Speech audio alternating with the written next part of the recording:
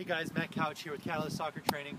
Uh, today we're going to be going over first touch. A lot of the players that come to us uh, and to our other trainers, they want to work on first touch, whether it's on the ground, out of the air, from a punt, um, any first touch scenario. Today we're going to be talking about uh, first touch moving ball laterally, and uh, it's going to be on the ground. So let's get going. All right, guys, for this first part, it's going to be the instep. You notice I'm leaning in the direction that I want to take the ball and guiding it with my instep there's no time that the ball is stopping. And we're moving on to the outside of the foot, same thing. I'm leaning in the direction I want to go, guiding the ball with the outside of my foot. Now we're just taking it out a little further. You'll see that I'm taking a larger touch, having to move a little more.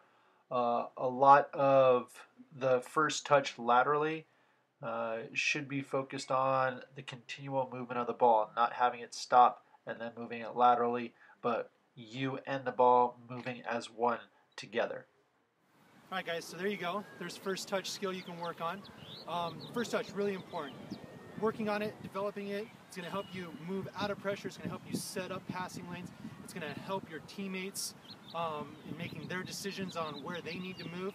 So keep working on your first touch. We'll see you again next time.